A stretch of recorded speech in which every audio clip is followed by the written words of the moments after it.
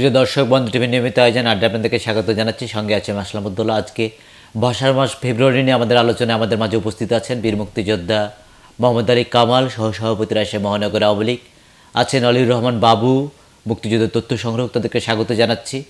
আমাদের স্মৃতি বিজড়িত ফেব্রুয়ারি মাসের আজকে দশ তারিখ এবং আমরা যে ভাষার যে ধরনের বিচ্যুতি ঘটেছে তা ফেব্রুয়ারি মাস আসলে আমাদের সামনে প্রতীয়মান হয়। রাজশাহী শহরের দিকে তাকালে পর আমরা দেখতে পাবো যে ধরনের বাণিজ্যিক বিভিন্ন প্রতিষ্ঠান রাজশাহীতে স্থান করে নিয়েছে সে পাশাপাশি।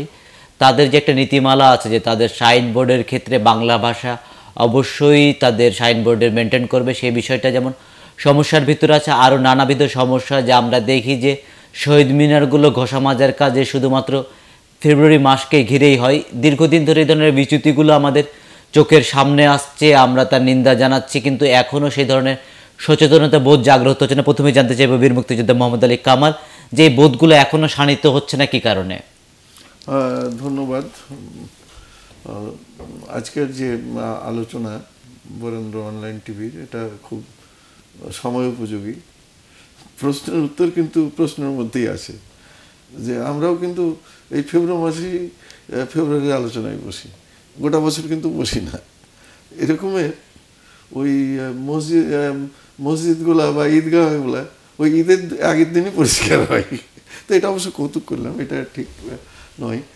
আসলে কি যে যে দিবসগুলা মানুষ স্মরণ করে এগুলোর পিছনে একটা তাৎপর্য একটা চর্চা, একটা গাম্ভীর্য এগুলা আছে, থাকতে হয়।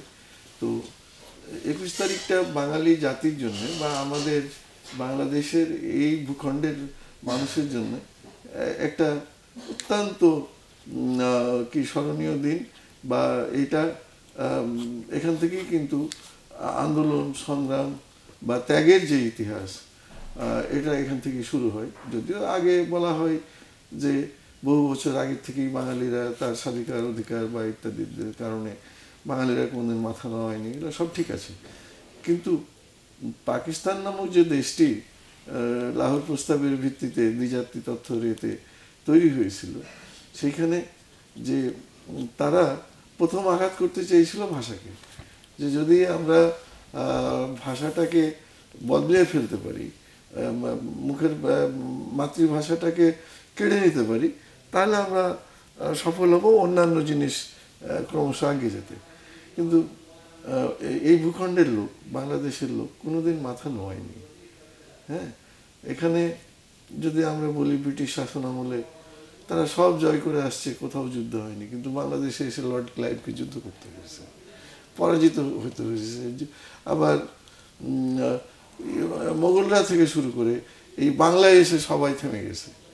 তো বাংলার মানুষ তার অধিকার, তার মাথায় যেটা আসে যে এটা আমার স্বাতন্ত্র বোধ, এটা আমার জাতিসত্তার কথা, সেইখানে বাঙালিরা রক্ত দিতে পারে, বাঙালিরা অধিকার আদায় না করে ঘরে ঢুকে না।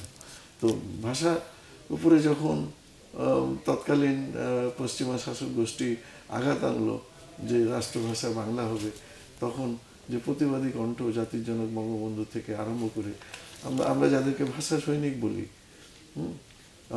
তারা যে গর্জে উঠেছিল এবং তাদের সাথে সাথে এই অঞ্চলের, এই জনগোষ্ঠীর সমস্ত লোক তাদেরকে সমর্থন দিয়েছিল এবং অধিকারটা তারা আদায় করেছিল পরবর্তীতে জননেত্রী শেখ হাসিনা যখন রাষ্ট্রীয় ক্ষমতায় অধিষ্ঠিত হলেন, তার মাথায় এবং কিছু বাঙালির মাথায় ঢুকলো যে শুধু আমার ভাষা বলে তো কথা নয়, পৃথিবীর যত ভাষা আছে সব ভাষার প্রতিই শ্রদ্ধাশীল হওয়া দরকার এবং প্রত্যেকটা ভাষাই যেন পৃথিবীতে বেঁচে থাকে, প্রত্যেকটা ভাষায় যে যার ভাষায় কথা বলে সেটাই তার মাতৃভাষা। আমরা বাংলা ভাষায় কথা বলি, বাংলা আমাদের মাতৃভাষা।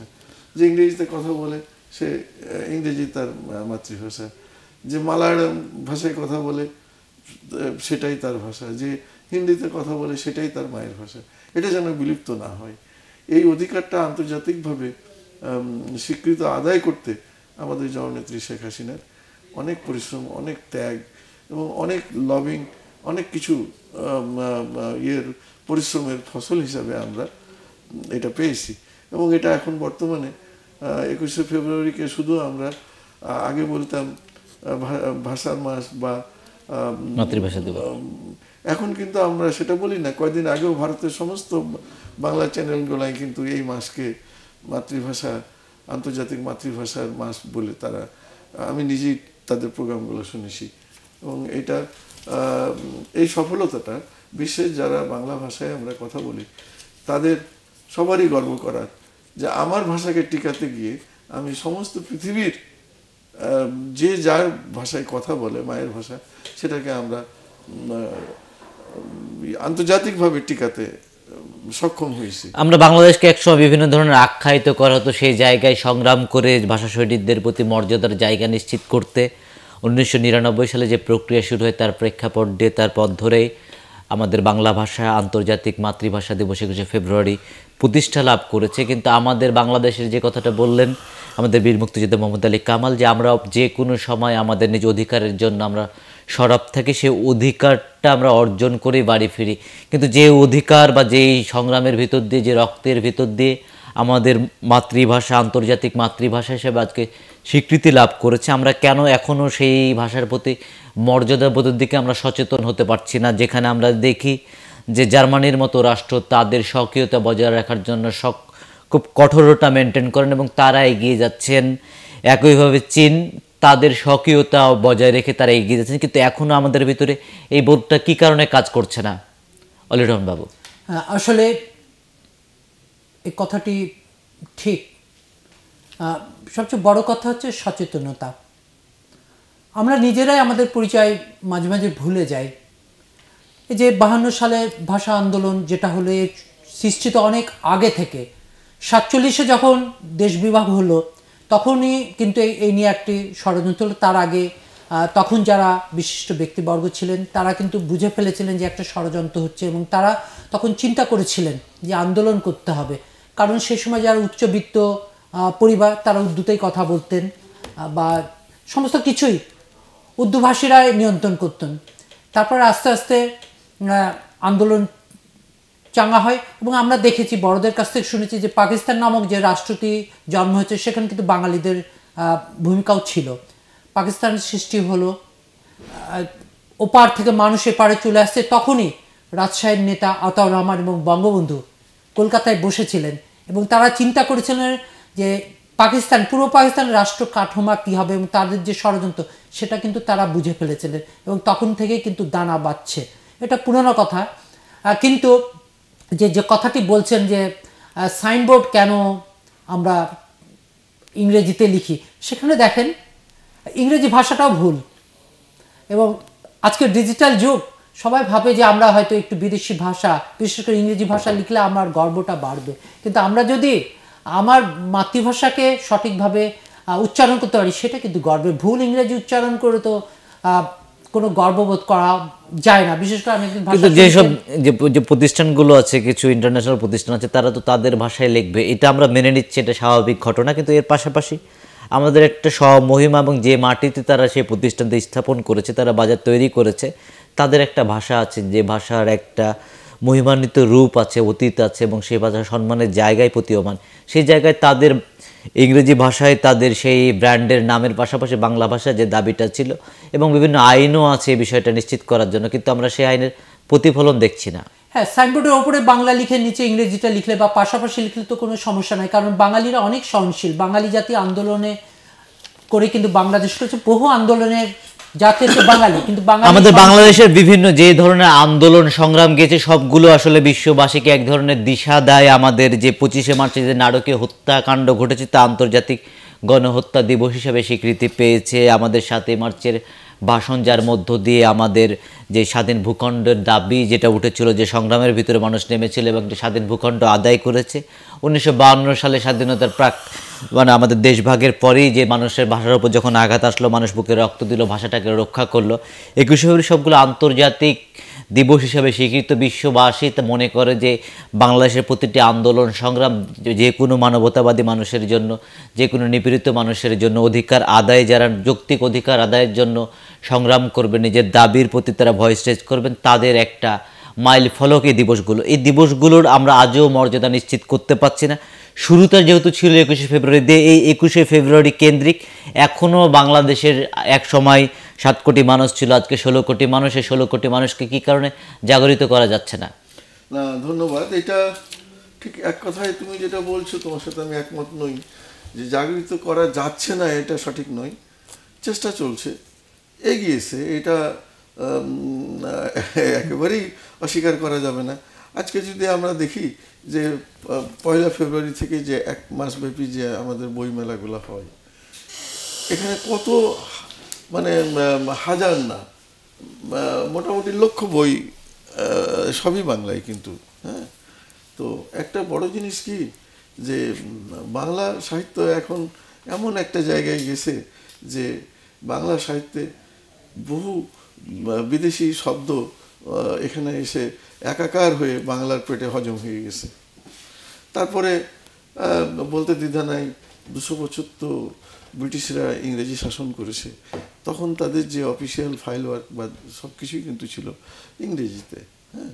এবং সেই কারণে একটা ক্লাস তৈরি হয়েছিল আমাদের মধ্যে যে যেমন লয়াররা যেমন তখনকার সিএসপি অফিসাররা ইত্যাদি ইত্যাদি। এরাকে ওইভাবেই প্রশিক্ষিত করা হয়েছিল। তো এই চর্চাটা এখন সামান্যই জাগ্রত আছে। বাংলা সাহিত্যে প্রতিদিন কিন্তু হুমায়ুন আহমদ থেকে জাফর ইকবাল থেকে আরম্ভ করে বহু প্রকৃত চষা বাঙাল মানে সাহিত্যিক। এবং এই বাংলা লিখনী দিয়েই তো কবিগুরু নোবেল পুরস্কার পেয়েছেন, তাই না? তো একেবারে, আমরা বলব না যে সফলতা আসেনি। তবে সাইনবোর্ড বা দু একটা এই ধরনের জিনিস চোখে পড়ে, তো এটা আমাদের অযৌক্তিক যদি সাইনবোর্ডটা ইয়ে হয়, ইংরেজিতে হয়, উর্দুতে কোথাও এখন আর নাই, ফার্সিতেও নাই। বাবু বলতে চেষ্টা করেছিল যে একটা ক্লাস পিপুল একটু বাড়িতে মাম্মি ড্যাড মাকে, মা বলে যতটা আরাম পাওয়া যায়, ওই মাম্মি বলে এতটা আরাম কিন্তু পাওয়া যায় না। মা মাই তো এরা একটু ক্লাসিফাইড পিপুল যেমন ব্রাহ্মণরা হিন্দু সমাজে একটু পোতা লাগাইলেই তারা একটু উঁচু ক্লাসের লোক হয়। ওরা সংস্কৃত মানে ধর্মগ্রন্থগুলা সংস্কৃতে ইয়ে করেছিল। কিন্তু এখন সেটা আর টিকে না। আমার সাথে। বোধহয় কামাল ভাই একমত হবেন কারণ ভাষা আন্দোলন যেটা শুরু হয়েছিল সেখানে কিন্তু দাবিটা ছিল বাংলাকে অন্যতম রাষ্ট্রভাষা। কারণ সেখানে পাকিস্তান নামক যে রাষ্ট্রটি হয়েছিল সেখানে কিন্তু অন্য জাতি গোষ্ঠীর ছিল। সেখানে পাঞ্জাবি ছিল। বেলুচি ছিল সকলের প্রতি সম্মান দেখে কিন্তু বাঙালি জাতি নিজেদের অধিকার প্রতিষ্ঠার কথা বলে বলেছিল অন্যতম রাষ্ট্রভাষা। হ্যাঁ কেন যে আমাদের বাবু ভাই কিন্তু মানে একজন আর্যে কিন্তু এবং এই আর্যের ভিতরে তিনি বাঙালিত্বের ধারা এবং বাংলা ভাষার প্রতি সেই ধরনের শ্রদ্ধাবোধ নিয়ে তিনি প্রোগ্রামগুলো করেন যে আর্য শ্রেণির প্রতি ভাষার মাসে বিভিন্ন ধরনের ক্ষোভ আসলে অনেকে প্রকাশ করে, এই বিষয়টা কতটুকু যৌক্তিক ক্ষোভ? হ্যাঁ আসলে ঠিকই বলেছে যে আমরা তো বাঙালি। আমরা দেখি যে বিভিন্ন প্রোগ্রামে অনেকেই যে বাংলা ভাষাকে খুব তাচ্ছিল্যভাবে অন্য একটি ভাষা দিয়ে নিজেকে উপস্থাপন করে, এটা এটা ঠিক না। এটা মোটেও ঠিক না এবং এ ধরনের সরকার কিন্তু নির্দেশনাও একটা জারি করেছেন। যেমন আমাদের ভাষার যে মূল ফ্লেভার সেই জায়গায় আমাদের দীর্ঘ সময়ের যে ইতিহাস আছে, তার মধ্য দিয়ে কিছু কিছু বিদেশি শব্দ থাকল, যে বাংলা ভাষার যে একটা সার্বিক রূপ আছে, সেই রূপ নিয়ে আসলে এগিয়ে যাওয়া। আর আমরা দেখেছি যে বিভিন্ন আন্দোলন সংগ্রামের ক্ষেত্রে, বিশেষ করে আমাদের ভাষা আন্দোলনের ক্ষেত্রে রাজশাহী অঞ্চলের একটা বলিষ্ঠ অংশগ্রহণ আছে এবং আমাদের দেশে যে প্রথম শহীদ মিনার, তার রাজশাহীতে প্রতিষ্ঠা লাভ করেছে। এই জায়গায় আসলে কি কারণে রাজশাহীর মানুষরা এত সক্রিয়ভাবে এবং ওতপ্রোতভাবে এই ভাষা আন্দোলনে জড়িয়েছিল হ্যাঁ এটা বলি যে রাজশাহী এমন একটা উর্বর জায়গা যেখানে সব আন্দোলনের কিন্তু এটা সূতিকাগার। তাভাগা আন্দোলনের কথাই যদি আমরা বলি, ইলা মিত্র এখান থেকে নেতৃত্ব দিয়েছিলেন। হ্যাঁ? মুক্তিযুদ্ধের কথাই যদি বলি, তখনও কিন্তু মানে ঢাকার আগে আমরা রাজশাহীর যারা ছাত্রলীগ করতাম বা সে সময় ছাত্র, আমরা অগ্রজ ছিলাম। আবার ভাষা আন্দোলনের সময় যে যখন ইয়ে আর কি, প্রতিবাদটা উঠল তখন যারা এখানে সেই সময় ছাত্র ছিলেন বিশ্ববিদ্যালয়, কলেজের, তারা কিন্তু গর্জে উঠেছিল। আর আন্দোলন জিনিসটা এমন নয় যে প্রথম দিনই একটা মহাবিস্ফোরণ হবে তা নয়। এটা যেমন একটা ছোট্ট বীজ থেকে ক্রমশ ক্রমশ হয়, তো তেমনি এখানেও যে ভাষা আন্দোলনটা দানা বেঁধেছিল ভাষা সৈনিক গোলাম আরিফ টিপু ভাষা সৈনিক মঞ্জুরুল হক ভাষা সৈনিক আবুল ভাই ইত্যাদি ইত্যাদি তারা কিন্তু এটা মানে ধারণ করেছিল এবং আইব শাহীকে থ্রেট করেছিল। তারপরে যখন আইব খান উন্নয়নের ডিকেট মানে দশ বছর পালন করছিল, তখন এটাকে সাধারণ জনগণ বুঝতো না। কিন্তু এরাই পথ নির্দেশক হয়ে বলেছিল যে না এটা কোনো উন্নয়ন হয়নি যেখানে ভাষার ইয়ে হয়নি আর এই পশ্চিমারা আমাদের উপরে সবটা চাপিয়ে দেবে এটা মানবো না এবং এখান থেকে কিন্তু ক্রমশ দানা বাঁধলো এবং ছয় দফা আসলো সত্তরের নির্বাচন আসলো সবটাতেই কিন্তু আমরা জয়লাভ করেছি। আসলে আমার মনে হয় কি বাহান্নর ভাষা আন্দোলনের বাঙালি জাতির মধ্যে একটা চেতনাবোধ কাজ করে যে আমাদের আলাদা একটা সত্তা আছে। এবং এগারোই মার্চ উনিশশো আটচল্লিশে, এগারোই মার্চ কিন্তু প্রথম রক্ত রাজশাহীতে ঝরে এবং রাজশাহী কলেজের ছাত্ররাই সেখানে রক্ত দেয় ভাষার দাবিতে, তাই না? হ্যাঁ হ্যাঁ এগুলো সবই সঠিক। তো এখান থেকেই কিন্তু উৎপত্তি হ্যাঁ? মুক্তিযুদ্ধের সময় আমরা দেখেছি যে আমরা যারা রাজশাহী বিশ্ববিদ্যালয়ের তৎকালীন ছাত্র ছিলাম, আমরা কিন্তু এখানে প্রতিরোধ যুদ্ধ, পরে মুক্তিযুদ্ধ প্রশিক্ষণ নিয়ে এটা আমরা নেতৃত্ব দিয়েছি, আমরা বলিষ্ঠ কণ্ঠে বলতে পারি। তো বাঙালিদেরকে দাবিয়া রাখা যাবে না এটা সমসাময়িক যেমন আমরা বলি যে দুই সামরিক সরকার, আমরা তো আন্দোলন করে তাদেরকে সরিয়ে দিয়েছি। তারাও কিন্তু বাঙালি ছিল। কিন্তু তাদের যে চিন্তা চেতনাটা ছিল একটু অবাঙালি সুলভ। বাংলাদেশের সাধারণ মানুষের চিন্তা ভাবনার বিপরীতে তারা অবস্থান করতো। আমাদের মাঝে আছেন অলিউর রহমান বাবু যিনি আমাদের ভাষা আন্দোলনের রাজশাহী অঞ্চলে নেতৃত্ব দানকারী মহান পুরুষ সাবেক প্রধান বিচারপতি তত্ত্বাবধায়ক সরকারের উপদেষ্টা হবিবুর রহমান শেলি। তিনি সক্রিয়ভাবে আমাদের ভাষা আন্দোলন রাজশাহী অঞ্চলে বেগমান করেছিলেন।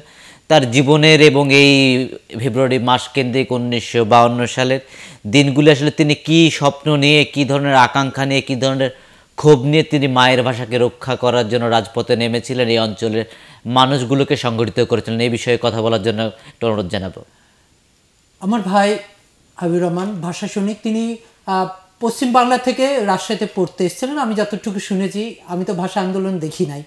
তারপরে যখন তিনি শুনেছিলেন যে পাকিস্তানের রাষ্ট্রভাষা বাংলাকে বাদ দিয়ে উদ্যোগে করা হবে তখন তিনি চরমভাবে উত্তেজিত হয়ে উঠেছিলেন। নিজের মধ্যে একটা ক্ষোভ সৃষ্টি করেছিলেন পরবর্তীতে তিনি সকলকে নিয়ে আন্দোলন জড়িয়ে পড়েছিলেন এবং ওই যে আমি বললাম, আটচল্লিশে রক্ত ঝরেছিল, তখন ছিলেন। পরবর্তীতে উনি উচ্চশিক্ষার জন্য ঢাকায় চলে যান।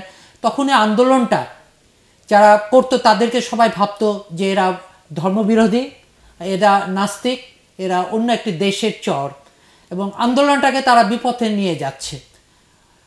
বাহান্ন সালে ভাষা আন্দোলন যখন হয়, সেই রাত্রে, বিশ তারিখের রাতে ঢাকা বিশ্ববিদ্যালয় পুকুর পাড়ে একটি সভা হচ্ছিল, কারণ একশো চুয়াল্লিশ দ্বারা ভাঙা হবে কি হবে না, এই নিয়ে কিন্তু একটা নানা ধরনের কথা চলছিল যে যারা নেতা ছিল তখন তারা বলছিলেন একশো চুয়াল্লিশ ধারা ভাঙা হবে, ধর্মবিরোধী কাজ। এবং সেদিন ঢাকা বিশ্বের আমতলা চরম উত্তেজনা ছিল, এবং তখনকার যে ভিসি, তিনি উত্তেজনা থামানোর চেষ্টা করছিলেন। এরপর সিদ্ধান্ত হলো যে না একশো চুয়াল্লিশ ভাঙতেই হবে। তখন বড় ভাই দশজন দশজন করে গ্রুপ যে ভাঙা নিয়ে একশো চুয়াল্লিশ ভাঙার সিদ্ধান্ত হলো তিনি প্রথম তিনি প্রথম সেই গ্রুপের নেতৃত্ব দিয়েছিলেন এবং একশো চুয়াল্লিশ ধারা ভেঙে তিনি গ্রেপ্তার হয়েছিলেন এবং পরবর্তীতে তারা যখন তেজগাঁও কারাগারে গেছিলেন তাকে কিন্তু উর্দুতেই ভাষণ দিতে হয়েছিল এবং উর্দুতেই তিনি ভাষণ দিয়েছিলেন। কারণ সরকার এবং যারা আহ, পুলিশ বাহিনী বা সেনাবাহিনী ছিল, তাদেরকে বোঝানোর জন্য যে সরকার কি করছে। পরবর্তীতে তিনি জেলে গেছিলেন এবং জেল থেকে বেরিয়েছিলেন ভাষা আন্দোলনের কারণে তিনি সেই সময় ঢাকা বিশ্ববিদ্যালয়ে কোনো কর্মসংস্থানের সুযোগ পান নাই। আমরা ভাষা ভাষা আন্দোলনের ক্ষেত্রে দেখি যে অঞ্চলের নারীদের একটা সক্রিয় অংশগ্রহণ ছিল। মাদারবক সাহেবের মেয়ে, জননেতা তার রহমানের সহধর্মী ভাষানিক মনোয়ারা রহমান দশম শ্রেণির ছাত্রী অবস্থায় ভাষা আন্দোলনে অংশগ্রহণ করেন। নারীদের যে অংশগ্রহণ ছিল, এই জায়গায় আসলে কি বোর্ডটা কাজ করেছে। আজকের দিনেও যেভাবে করে আমাদের যেহেতু রক্তক্ষয়ী আন্দোলন, ভাষার আন্দোলন, সেই জায়গায় নারীরা যেভাবে ঘর ছেড়ে বেরিয়ে এসেছিলেন অধিকার, মায়ের ভাষা রক্ষার জন্য, আজকের দিনে রাজনীতির মাঠে সেই অর্থে নারীদেরকে সেই ধারার অংশগ্রহণ আজকে আমরা দেখি না। তখন কার যে চিন্তা চেতনা, ভাইয়ের পাশে বোনেরা দাঁড়িয়েছে মনোয়ারা আপার সাথে আমার ব্যক্তিগতভাবে উনি যখন জীবিত ছিলেন, প্রায়ই হতো আলাপ হতো। তো ভাইদের পাশে বোনেরা দাঁড়াবে, এটাই হলো বাঙালিদের একটা কি বলব যে, মর্যাগত বা একটা সত্তাগত অধিকার হ্যাঁ? সেই থেকে মেয়েরা ভাষা আন্দোলনের সময় যে আমরা পুরনো পটভূমিকা ইয়েগুলা দেখি, চিত্রগুলা দেখি, তখন এত মিডিয়া, এত ক্যামেরা ছিল না। তবু যেটুকু আমরা দেখেছি যে মেয়েরা রাজপথে মিছিল করেছে, তখন মেয়েদের শিক্ষার হার খুবই কম ছিল, কিন্তু তারা প্রচুর বই পড়তো, জ্ঞান চর্চা করতো হ্যাঁ? এবং নেতাদের সাথে যে ইন্টারাকশন যে মত বিনিময়গুলো হতো, এগুলো সত্যি খুব সফল হতো। এই থেকেই নারীদের সক্রিয় অংশগ্রহণ। আর বাবু একটা কথা বলতে চেয়েছিল যে যখনই একটা আন্দোলন দানা বাঁধে, যখনই একটা স্বাধিকারের কথা উঠে, যখনই একটা কোনো কিছু পাওয়ার জন্য বা জাতি সমস্যা মানে ইয়ে সৃষ্টি হয়, তখনই একটা খুব সুন্দর ক্যাপসুল তৈরি করা আছে ধর্ম। এরা মুসলিম নয়, এরা অমুসলিম। আমরা যখন ইয়ে করেছি আমি এই ব্যাপারে আপনারা একটু দৃষ্টিপাত এবং আরও একটু বিরত আলোচনা চাইব। যে জায়গায় আমরা দেখি যে সেই সময় মানুষদের শিক্ষার হার খুব কম ছিল। বিভিন্ন ধরনের প্রোপাগান্ডা চালানোর যথেষ্ট সুযোগ ছিল এবং উর্দু ভাষার আরবি হরপের মতো দেখতে দেখাই কথাটা কথাটা আরবির মতো শোনায়। সেই জায়গায় উর্দু ভাষার দাবি করল এবং সেই জায়গায় তারা যত ধরনের প্রোপাগান্ডা চালো সবগুলোই ব্যর্থ হলো। কিন্তু তারপরে আমরা স্বাধীন ভূখণ্ডের ক্ষেত্রে বিভিন্ন ধরনের প্রোপাগান্ডার স্থাপন করা হয়েছে এবং সেই প্রোপাগান্ডাগুলো খেটেও যাচ্ছে এর কারণটা কি বলে মনে করছেন? না কারণটা হলো যে ধর্ম এমন একটা মানুষের দুর্বল জায়গায় আঘাত করে। যে সেই সময় তো সফল হয়নি। কিন্তু শেষ পর্যন্ত সফল হয় না। এটা বলিষ্ঠ নেতৃত্ব এবং মানুষ যখন জ্ঞান চর্চা করে তখন এখান থেকে তারা ব্যর্থ হয়। যেমন আমি বলি যে আলবদ রাজাকারেরা মুক্তিযুদ্ধের সময় সৃষ্টি হলো। তাদেরকে ব্রিফ করে দেওয়া হলো যে যারা পাকিস্তান চায় না তারা সবাই ভারতের দালাল তারা সক- সকলেই অমুসলিম। এবং আমার খুব স্পষ্ট মনে আছে যে যুদ্ধ চলাকালীন অবস্থায় যে প্যারামিলিটারি যেগুলা ওরা পাঠিয়েছিল পশ্চিম পাকিস্তান থেকে তাদেরকে বলা হয়েছিল যে তোমরা মালাউন নিধনে যাচ্ছ। এবং অনেকে বোধহয় উর্দুতেই কথা বলা শুরু করে দিয়েছিল। হ্যাঁ তোমরা ইয়ে ওখানে যাচ্ছ পশ্চিম পূর্ব পাকিস্তানে ওখানে সব হিন্দু যত মারতে পারো মানে বিধর্মী আর কি। হিন্দু ঠিক নয়, সবাই বিধর্মী। যত মারতে পারো, তত তোমাদের বেহেস্তের পথ সুগম হবে, তত তোমরা আল্লাহর আশীর্বাদ পুষ্ট হবে। এবং এই কারণেই ওদের মধ্যে যে কিছু কিছু লোক যারা এটা এই ভূখণ্ডে এসে বুঝতে পেরেছিল যে না, এটা আমরা ভুল করছি। তো এই কথাটা আমি এর আগেও একদিন বলেছিলাম এখানেই যে তারা কিন্তু বিভিন্ন জায়গায় মানুষকে কর্ডন করে ঘেরে উলঙ্গ করে দেখতো যে এই লোকগুলা মুসলমান না হিন্দু। এটা তো আমরা রাজসাক্ষী। এই কথাগুলো কিন্তু আর কিছুদিন পরে থাকবে না। আমরা আমরা বলে যাচ্ছি জাতিকে যে এইভাবে তারা উলঙ্গ করে মানুষকে দেখতো। কিন্তু তারা কি সফল হয়েছিল? সফল হতে পারেনি। তো এখন আমরা ভাষার ক্ষেত্রে সফলতা পেয়েছি। আমরা বাংলাদেশকে স্বাধীন করার ক্ষেত্রে সফলতা পেয়েছি। আমাদের জননেত্রী শেখ হাসিনা অর্থনৈতিক মুক্তির জন্য কাজ করছে এখানেও আমরা সফলতা পাবো এবং আন্তর্জাতিক ব্যবসার ক্ষেত্রে কিছু কিছু জায়গায় আমাদের বাজার তৈরির জন্য হয়তো ইংরেজি আমাদের ব্যবহার করতে হয় কিন্তু তার অর্থ এই নয় যে আমার সাহিত্য আমার কর্ম আমার সত্তা। আমার সত্তা আমি বিলিয়ে দিয়ে ইংরেজি শিখব এটা হয় না এবং এবারও বইমেলায় আমি গেছি দেখেছি যে বহু বিদেশি ভাষার যেগুলো ভালো জ্ঞানলব্ধ বই, সেগুলোকে কিন্তু বাংলায় কি বলে ওটাকে? ট্রান্সলেট করা বা রূপান্তর করা হয়েছে। সেই বইগুলা পৃথিবীর সমস্ত জাতির মধ্যেই কিন্তু কিছু না কিছু জ্ঞান চর্চা বা কিছু না কিছু সমৃদ্ধ জিনিস আছে। কিন্তু সেই জিনিসটাকে আমাকে বোধগম্য করার জন্যে আমার মতো করে তৈরি করা হয়।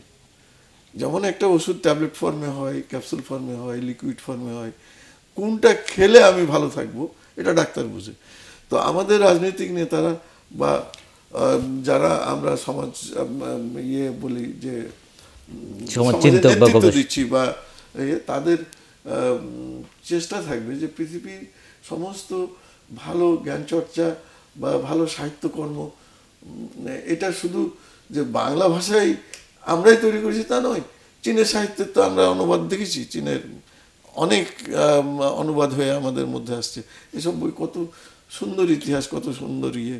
আরও বহু উপন্যাসের গল্পগুলা আমরা যেটা দীর্ঘদিন ধরে চালু মানে কিছু বিগত কয়েকটা বছর ধরে চালু আছে যে আমাদের একুশে ফেব্রুয়ারি কি মাসকে ঘিরে মাসব্যাপী যে বই মেলাটা হচ্ছে আমরা বিভিন্ন কারণে বাউন্ন সালে যে ধরনের মানে সচেতন বোধ ছিল মানুষের ভিতরে আজকের দিনে সেই বোধটা তো একটু জাগ্রত হয়েছে। মানুষ আমরা এক ট্রেডিশন দেখি বাঙালি জাতি যেটা মজ্জাগত যে ট্রেডিশন যে রমজান মাসে তারা মাসব্যাপী রোজা রাখে এবং তাদের ভিতরে ধর্মীয় বোর্ডটা খুব সচেতন। তারা বারো মাস রোজা রাখুক কি না রাখুক, একইভাবে যে এক মাসব্যাপী যে ধরনের বইমেলার যে আয়োজন করল তা আমাদের যে অস্থিমজ্জার ভিতরে যে সচেতন বোধ আমাদের যারা শহীদ দিয়েছে, যাদের রক্তের বিনিময়ে আমরা স্বাধীনভাবে বাংলা ভাষায় কথা বলছি, স্বাধীন ভূখণ্ডের ভেতরে এসেছি সেই বোধ তৈরি হওয়ার কতটুক সম্ভাবনার জায়গা দেখছেন এবং মানুষের ভিতরে সে আলোকছটা কতটুক প্রতিফলিত হতে দেখা যাচ্ছে? একসময় বইমেলা ছিল খুব সীমাবদ্ধ গণ্ডির মধ্যে। সেটা কিন্তু সীমাবদ্ধ পেরিয়ে কিন্তু এখন অনেক এখন অনেক তরুণ প্রজন্মের লেখকও তৈরি হচ্ছে এবং তাদের ভালো ভালো পাঠক তৈরি হচ্ছে এবং পাঠকরা খুব আগ্রহ ভরে বই কিনেন এবং পড়ছেন। আসলে আপনিও দেখছেন যে সীমান্তের ওপারেও কিন্তু তারাও একুশকে কেন্দ্র করে বইমেলা করছেন। এবং আপনি যেটা বলছিলেন মুনুয়ার রহমান মুনুয়ার রহমানের বাবা কিন্তু একটা রাজনৈতিক দলের ছিলেন তিনি মুসলিম লীগ করতেন আমার বাবা মুসলিম লীগ করতেন কিন্তু। হ্যাঁ, কিন্তু তার বাবা মাদার বক্স মেয়েকে কিন্তু কখনো বাধা দেননি এবং তিনি উৎসাহ দিয়েছিলেন মেয়েকে ভাষা আন্দোলন এবং তার জামাইকে ভাষা আন্দোলনে অংশ আমার বাবা পাকিস্তানের পতাকা তুলেছিলেন ভারতে কিন্তু তিনি আমার বড় ভাইকে ভাষা আন্দোলনে বাধা দেননি কারণ তারা যে স্বপ্নটা দেখেছিলেন সেই স্বপ্নটা তার চোখে ঝাপসা হয়ে গেছিল এবং তিনি উৎসাহ দিয়েছিলেন ভাষা আন্দোলনের অংশ নেওয়ার জন্য। যে, যে- কথাটা বলছিলেন যে বই, বইয়ের মেলা বইমেলা কিন্তু এখন ছোট ছোট শহরগুলোতে বইমেলা শুরু হয়ে গেছে এবং সে থেকে কিন্তু অন্যরকম একটা আন্দোলন চলছে। কিন্তু এটা যেন শুধু ওই একটা মাস কেন্দ্রের মধ্যে যেন সীমা না থাকে, আমরা যেন প্রতি মুহূর্তে যেই কাজ করি, আমরা যেন মনে রাখতে পারি এই ভাষার জন্য আমাদের শহীদরা রক্ত দিয়েছে। কারণ আপনি জানেন, আসামে ভাষার জন্য তারা রক্ত দিয়েছে তারা কিন্তু সফল হয়নি, কিন্তু আমরা সফল হয়েছি। এরপরও আন্তর্জাতিক মাতৃভাষা হিসাবে বাংলার জন্য সেখানে কিন্তু একটা সংগ্রাম করতে হয়েছিল মানে এক ভোটের বিনিময়ে বাংলাদেশ প্রতিনিধি দল সেখানে জিতে গেছিল। এটাও কি আমাদের জন্য অনেক বড় পাওয়া না?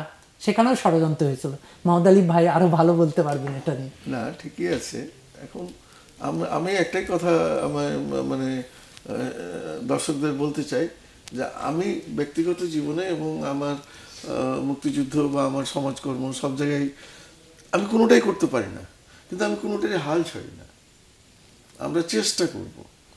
আমরা অনুষ্ঠানের পরে শেষ পর্যায়ে চলে আসছি দর্শকদের উদ্দেশ্যে এবং আমরা বলতে চাই জানতে চাইব যে আন্তর্জাতিক মাতৃভাষায় ভাষার মাসে ভাষার প্রতি মর্যাদা নিশ্চিত করার জন্য আমাদের প্রত্যেকের আসলে করণীয় জায়গাটা কি আছে এবং কীভাবে আমাদের সেই শহীদদের প্রতি আমরা শ্রদ্ধা নিবেদন করব? না এখন আমাদের আইন বা কোর্ট থেকে আরম্ভ করে রাষ্ট্রীয় সব জায়গায় আমাদের বাংলা ভাষার প্রা- প্রাধান্য বা বাংলাতে আমাদের কাজকর্ম চলে।